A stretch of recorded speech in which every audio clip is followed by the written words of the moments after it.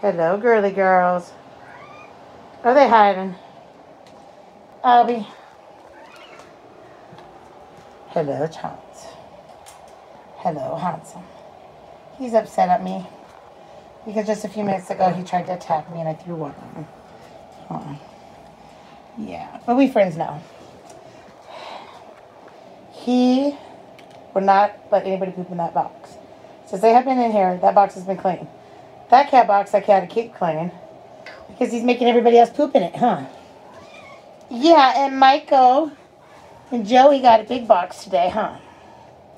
Could they go poo poo's lots? Yeah. Yeah, you guys were just out.